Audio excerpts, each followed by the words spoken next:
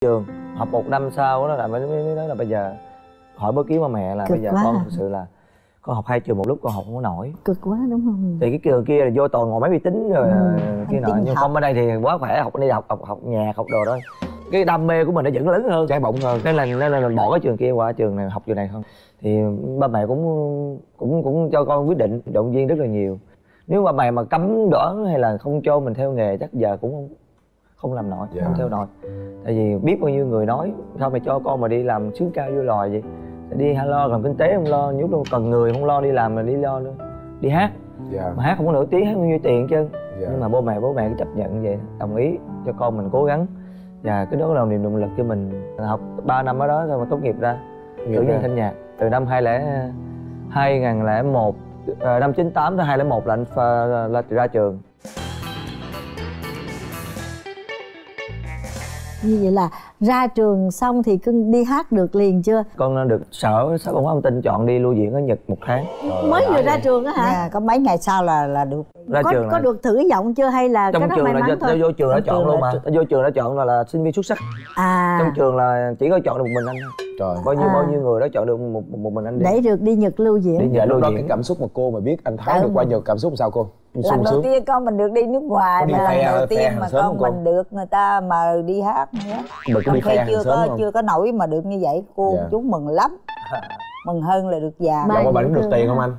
Bên đó mình hát đi hát vô cho cho cộng đồng bên đó với lại mình đi hát giao lưu văn hóa. Dạ. Nên là cũng có tiền bạc quan trọng nhưng mà trọng cái, cái, cái mình ra mình được cái, cái, cái bước đi cho mình cái bước đẹp như mình như vậy là ok. Rồi khi mà anh qua nhật á rồi anh một tháng trời rồi anh có liên lạc với gia đình mình không? Có cũng là, là lúc đó là mình lúc đó mình cho Ừ, đó không đi có lạc cũng thoại chưa là nhiều đâu. đúng rồi chưa có facebook rồi gì Ờ, đúng không anh? chưa đâu đi lạc cũng khó khăn lắm nhưng mà cũng có gọi điện thoại về. Mà đi hát rất là khổ hồi xưa mình biết rồi đi hát mình chưa nổi tiếng mình đi hát mấy cái nhà hàng.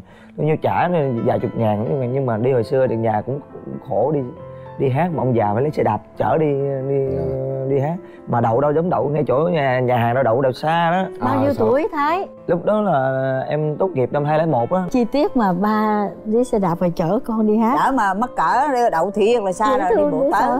Rồi, rồi Đi đi, vô đi hát xe đạp của, vest à, đồ đó cũng hát ờ, trong ờ, những cái quán nhậu rồi đó Dạ, rồi hát nhau nghe rồi đó. Là một đêm được năm chục. Dạ.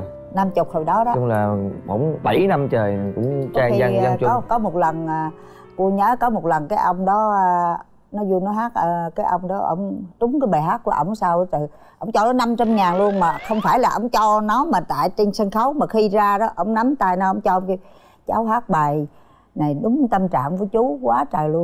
Chú tặng cháu này nó mừng quá nó đem gì nó đưa cho cho, cho chị. Dạ. Dễ thương Ờ, quá. nó kể cho chị nghe. Giới thiệu tên hồi xưa anh là Ngọc Thái. Ừ. giới thiệu tên Ngọc Thái ra sân khấu thì không ai không ai vỗ tay hết. Dạ. Rồi sau này nhưng mà hát xong khán giả không cho vô. Hát À. vài bài vài bài với môi sân khấu là bởi vậy là, là bầu show nó cũng rất là thích cho nên như là lúc đợi ngôi sao tới thì lôi này ra nó hát là, là vài bài cũng được kéo theo thời gian dài. Đó nên là bầu show cũng gọi nhiều gọi nhiều là bao giờ mới làm al- album rồi tiền à, đâu lúc thì lúc đó rồi này tiền là sao? nhà đầu tư lúc đó nhà hồi xưa là ông già già cũng khá lắm. Đã khá rồi à, là, là giỏi bắt đầu cũng đi làm cũng có Dạ. tiền bán quán nhậu cứ lên nhà mình là nhà nhà nhà con là kinh tế lên xuống lên xuống lên xuống. À, xong Là rồi cái lần? ờ, áp ban đầu là làm là bán đồng hồ. Dạ. bán đồng hồ chợ bến thành đó. Dạ. Xong cái rồi bị bà nội này mất nè. Cái phải chở về quê chôn cái chú ờ, ông xã với đêm thấy người ta đi vô đi ra xe xe, đò có đó. tiền đó với về với làm xe đò. mua hai chiếc xe hồi đó cả tỷ bạc đó. Rồi coi như là làm là cái sạc nghiệp luôn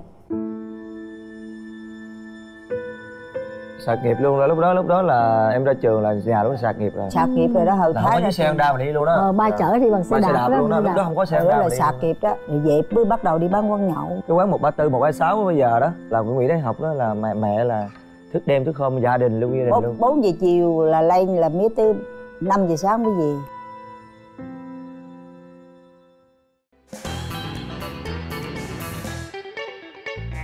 con nghe nói cô cô thương anh thái nổi mà mà mà cô mua xe cho anh thái đúng không? Đúng rồi. Và tiền mua xe đó đâu ra cô? Thì mua xe của cô để dành. Cô để dành hả cô? Cô để dành để đâu cô? Cô bỏ heo. Trời đất ơi. Lúc đi hát chưa? Lúc đó đi hát rồi nhưng mà chưa nổi đi tiếng. hát đi hát mà chưa nổi tiếng. Ngày cô bỏ nhiêu tiền trọng vô vô chừng lắm có khi cô lời nhiều cô bỏ nhiều cô lời ít cô bỏ ít trong một ngày đó. Mà thí dụ như à, cô trừ chi phí đâu đó Dạ. hết rồi à, ăn tiêu rồi luôn rồi còn dư bao nhiêu là cô bỏ vô. Để dành cho dương ngọc thái thôi. Không không phải là cô để dành riêng dương ngọc thái nhưng mà cô để dành cho gia đình. Gia đình. Khi mà gia đình cần cái gì hoặc là cái gì mình Ừ. cũng có cái khoản tiền đó mình đem ra mình xử cho nó nhanh. Xử cho nó nhanh. Ngay từ lúc bây giờ cô vẫn còn bỏ heo mà. Dạ. Tại sao mà quyết định đập con heo đó mà mua xe cho anh thái. Cô đập hai con luôn á. Đập hai con. Một con là ra anh bum đầu tay cho nó nữa. Trời ơi. 25 À, triệu. Đập con thêm heo. 25 triệu. Đập con heo đầu tiên để làm album. Đập con heo thứ hai là mua xe. Mua xe. Mua xe gì cô? FH ốc ơi xe đè lăn chứ. Ra đi lăn trời lúc đó có đi lăn rồi hả? Ghê thiệt. Hồi đó mà có đi lăn này đó dữ. 115 triệu tôi nhớ biết cái giờ luôn. Cô nhớ biết cái giờ luôn thì cô đập heo cô tiếc. Khóc không cô? Đúng khóc không tiếc không cô? Làm sao tiếc? Mình đầu tư cho con mà con trời ơi thương trời ơi, mẹ đầu tư mua xe cho con nghĩ là đầu tư thôi chứ không nghĩ mà con mình xe xua. Còn con xin tiền mẹ không giờ mẹ cho. Mày xin tiền hồi nào? Nãy đó xin ba trăm ngàn. mẹ mà con nói gì vậy bây giờ mẹ nó nói con bây giờ phải đập bỏ con heo đi nè. Dạ. ừ đúng rồi Bỏ giờ heo đi. bỏ heo đi. Ngay từ lúc bây giờ- giờ cô vẫn còn bỏ heo mà. Dạ để khi mà mình gặp cái gì mà khó khăn Ừ. để khi mà cần cái số tiền là Đúng mình rồi. phen phen liền. Đúng khi rồi. mà mình livestream không được đó. Không được mình ế xô mình bị chặn facebook mình đập ra.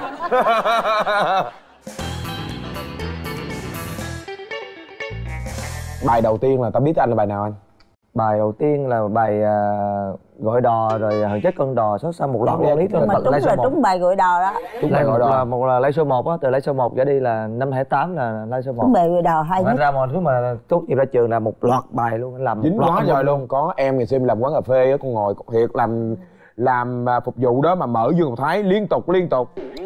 Anh cái live show đầu tiên là có sự hỗ trợ của gia đình không? Hay tự anh trang trải hết? Phải Thì có cũng hỗ có gia trợ đình chứ.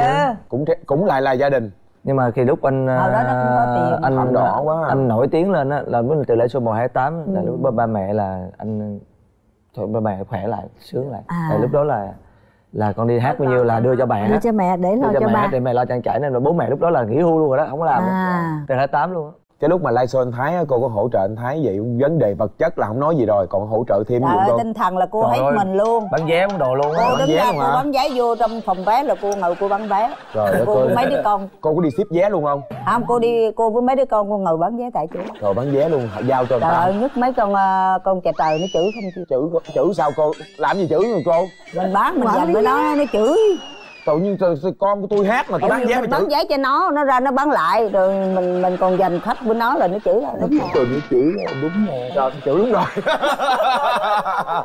mà tại thương con quá đúng không Đúng rồi, đúng rồi. trời ơi con mình mà hát mà ra bán vé luôn. Đúng rồi. Rồi hàng đêm mà mà nếu mà tổ chức chương trình vậy thì lớp nào đâu quản lý tiền lớp nào bán vé lớp nào phải chạy vô coi thấy hát. Coi như là khi, khi mà gần gần Dạ. gần cuối chương trình Mới mà chạy chuẩn vô. bị mà mà mà mở màn á Dạ. là mới bắt đầu chạy vô. Chạy vô. Giao cho con. Quản lý thốt tiền vô trong giỏ sách theo. trời ơi. Lúc chuẩn bị mở màn á là bắt đầu là bố mẹ vô. Ba mẹ vô. Mày mày dẫn vô để coi con mình hát vô coi gì lên sân khấu luôn chứ. Lên vô giả khấu, luôn. thái mờ đó thái mờ hai vợ chồng lên sân khấu lên show nào cũng mời. À rồi nào- bây giờ bố mẹ còn nổi tiếng hơn anh luôn rồi đó. Vậy hả? Mà bây giờ À, lên số làm 1 xe cho tới lên số 6 là Đi mời hết, hết. bây giờ là- đi ra Hà Nội cũng đi theo ra luôn mời luôn. Bí mật gì mà từ trước giờ anh thái chưa chia sẻ ở đâu không? Anh thái có gia đình chưa vậy? Có rồi. Có rồi luôn hả? Đó em chưa biết luôn đó. Đó giờ em chưa biết đâu em chia sẻ rồi đó dạ bao nhiêu ờ, hai bé đứa là con rồi. Hai hai đứa con rồi hả? Trời ơi. Thái hiền. luôn á. thái hiền lắm hả chị? Hiền lắm. Hiền. Thái có tâm thật. Đi với mấy ông thầy chùa đi hát từ thiện nhiều lắm. Dạ con thấy nó đã hơi ngắn ngắn rồi đó cô. Cô phải canh nha cô nha. Con thấy hơi ngắn ngắn rồi đó. Dạ. Mấy ông thầy à, ở ngoài quế ngoài đồ thương nó lắm. Mà đi hát từ thiện cũng hơi nhiều. Đi hát thì thôi về nhà là tụng kinh. Ơi, tụng à mà nhà em biết nhà chị ở trên Dạ. lầu 4 mà nó nó mở cái loa mà nó tụng nguyên, nguyên cái xóm đó họ Cái biết. bàn thờ để mỗi lần bốn. Th- thái về á là họ biết rồi đó tụng kinh là họ biết thái về trời ơi cái tụng kinh cái là cả sớm biết luôn á hả? Tuốt ở trên lầu đó rồi nó, nó nghe tiếng mình tụng cái, cái trong cái micro á. Dạ. Nghe to bình thường là giọng đã lực rồi mà còn quất thêm cái micro nữa. Cô có mong muốn Không gì đối với muốn anh gì thái Thái. nữa không nói chung là tới đây là cũng đã thấy đại nguyện Con thấy rồi quá đủ quá đủ rồi đúng không cầu mong con cái nó được mạnh khỏe bình an và gia Dạ. đình nó hạnh phúc là Dạ. cái điều đó là Dạ. là mẹ mẹ lúc nào cũng mong muốn con như vậy còn Dạ. còn nếu mà tiến càng tiến lên được nữa thì mình càng mừng Mình càng thôi mừng, dạ. đúng không anh thái có là phải là người mà hay thể hiện tình cảm với mẹ không hay là à, chỉ để trong lòng thôi. Anh là ít ít bao giờ anh thổ lộ tình cảm mà anh hành động là nhiều. Mình làm nhiều hơn là mình nói. Dạ. Nhưng mà nếu bây giờ ừm, có một cái lời nói gì đó mà trước giờ anh chưa nói với mẹ anh có lời nào muốn gửi tới mẹ của anh không? Thực sự là nếu mà không có ba mẹ thì thái không được à, nhà. Không được, Được bước theo con đường nghệ thuật tới ngày hôm nay tại sao? Tại vì gia đình là kinh doanh mà thái Dạ. là con trai trưởng. À, nên là ba mẹ cũng muốn là con mình cũng đi làm kinh tế chứ ai đi làm Đúng đi rồi, ca hát đi ca hát đâu có có tiền đâu. Dạ. Toàn là lấy tiền nhà ra không mà chứ Làm đâu có MV đầu tư, đâu, đúng đâu có đầu tư đầu tư thôi chứ đâu có đâu vô được. Thì à, thẳng ra sẵn đây chương trình thì con cũng nói ba mẹ là con thực sự nói những gì ba mẹ đang suy nghĩ và con hiểu hết. Và con sẽ cố gắng à, làm sao làm sao để cho mẹ càng một đến tuổi tuổi già lúc nào cũng tự hào là có một đứa con dương ngọc thái như vậy. Lúc nào cũng tự hào là à, con mình sẽ làm được cho ba mẹ mình như ngày nào vẫn vậy như ngày nào. Và không có để cho ba mẹ buồn bất cứ điều gì. Và thời gian nó sẽ như vậy. Dạ cảm ơn.